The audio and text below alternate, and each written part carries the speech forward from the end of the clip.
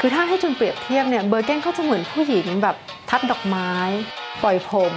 น่ารักน่ารักใสๆกิจกรรมที่ 3 ที่แนะนำก็คือ Fish Market ตลาดปลาเดินผ่านตอนเช้า ของสด ซีฟู้ดเยอะมากมีแบบโชว์เต็มที่ นักท่องเที่ยวเยอะมากเลยอะ มันมีอะไรหลาย ๆ อย่าง ซึ่งแบบคนในโลกแถบแถบร้อนอย่างเราไม่เคยเห็น ยกตัวอย่างเช่น จูมิ้งมิ้งมันมีน้ำมันตับปลาแมว ตับปลาแมวน้ำคือเม็ดมันเหมือนน้ำมันตับปลาเหมือนฟิชออยล์โอเมก้า 3 ที่เราเคยเห็นอะแต่ทำจากแมวน้ำวางคู่กับน้ำมันปลาแซลมอน กินยังไงอะแล้วมีโอเมก้า 3 กินน้ำมันแมวน้ำทุกวัน อุ๋งอุ๋งๆเงี้ยเหรอเดินไปอีกนิดนึงปุ๊บเราก็เจอซาลามี่ซาลามี่เนื้อกวางมูส เรนเดีย แล้วก็ปลาวานนะซึ่งมิงก็เป็นผู้กล้าลองทุกอันจำไม่ได้มิงชอบอะไรมิงน่าจะชอบเรนเดียมากที่สุดมั้งชิมทุกอัน อะไรอร่อยสุดซาลามี่มันก็คือเนื้อแห้งๆเค็มๆ แต่ว่าแต่ละอันอะมันจะมีกลิ่นเฉพาะตัว มิงว่ากวางหมูสอะ มันมีความสาบพอสมควรปลาวานเราก็ไปกินที่ออสโลมาแล้วก็เลยรู้สึกเฉยๆอืมมิงว่ากวางเรนเดียร์อร่อยสุดอืมแล้ว Fish Market เนี่ยเขาก็ตั้งอยู่ด้านหน้าศูนย์นักท่องเที่ยวนะซึ่งศูนย์นักท่องเที่ยวที่นี่ในช่วงฤดูร้อนเปิดจนถึง4ี่ทุ่ม กิจกรรมทีสี่4 ก็คือพิพิธภัณฑ์ ไปทริปนี้ ทุกเมืองที่ไปต้องเข้า museum จูนชอบเดินพิพิธภัณฑ์ค่ะ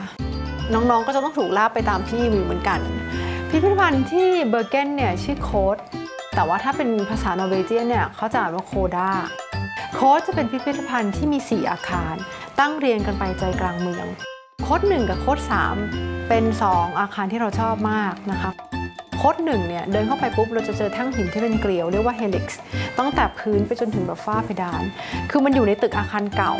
ประมาณแบบว่าหลุยส์ ประมาณเรเนซองประมาณแบบเก่าประมาณแบบนั้นเลย แต่ก็จะมีความ modern แทรกอยู่ ซ้ายมือจะเป็นห้องที่จัดแสดง silverwareสวยมาก การจัดพิพิธภัณฑ์จูนชอบมาก เขาจัดเป็นตู้ซึ่งเรียงกันเป็นแบบแปดเหลี่ยมอะแล้วข้างบนติดเป็นกระจก ไฟส่องเป็น spot คือมันทำให้ silverware ดูแบบดูระยิบระยับมาก ยิ่งสะท้อนกับกระจกข้างบนเนี่ย คือเป็นห้องที่เราเดินเข้าไป 3 คนแล้วเราก็ร้องอู้หู ทั้งแสงสะท้อนจากทุกอย่าง มันดูแบบหรูหราอลังการมากเลยอะสวยโคด3จะมีความสำคัญอยู่อย่างหนึ่งก็คือว่าเขาจะมีห้องที่จัดแสดงงานของเอ็ดเวิร์ดมงเหมือนกัน ที่อยากให้มาดูเพราะว่า เป็นผลงานที่เกิดหลังจากที่เขามีปัญหาทางจิต เขาพบจิตแพทย์ เพราะฉะนั้นสีที่เขาใช้จะสดใสและฉูดฉาดกว่าสีที่เราเห็นใน Munch Museum ได้เห็นผลงานของ Edvard Munch อีกครั้ง ที่ Munch Museum มิงเข้าไปเดินดูมันมีความดำดำหดหู่แบบเหี่ยวเหี่ยวเศร้าๆอะไรเงี้ยสีที่เขาใช้ของที่เนี่ย มันเป็นสีสันสดใส มันดูแบบร่าเริงสดใสอะไรอย่างเงี้ย เวลาเราเดินเข้าไปดูเราก็จะแบบ รู้สึก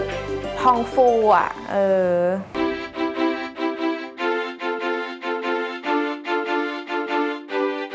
มาถึงถนนที่พี่จูนชอบมาก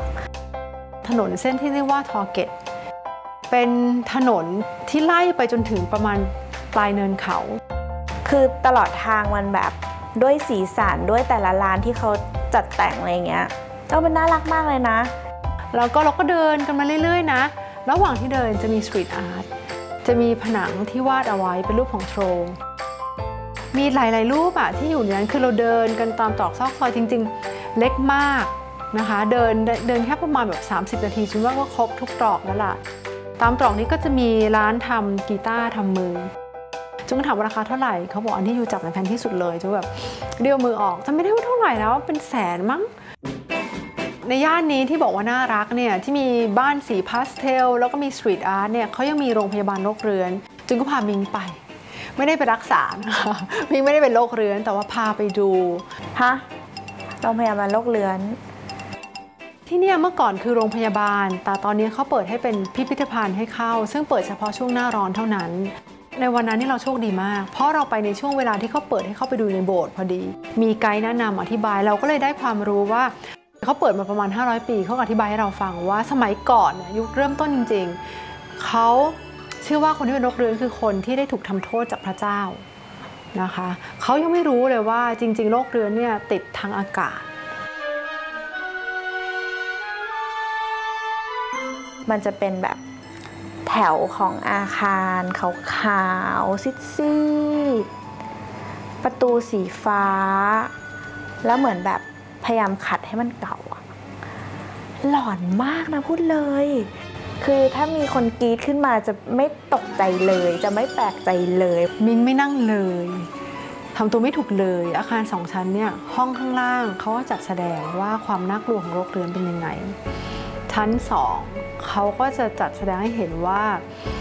ห้องของคนไข้แต่ละคนกับความรู้สึกของเขาอะที่เขาเป็นโรคเรื้อนนะเป็นว่ารู้สึกยังไง ซึ่งจูนยอมรับว่ามันแบบมันรันทดมากอะมันรู้สึกเศร้าอะเราก็เลยอยู่แค่ห้องแรกนะเราเราก็ไม่อยากเดินขึ้นไปห้องชั้นที่สองเพราะเรารู้สึกว่ามันแบบแค่เห็นภาพห้องแรกเราก็อึ้งไปแล้ว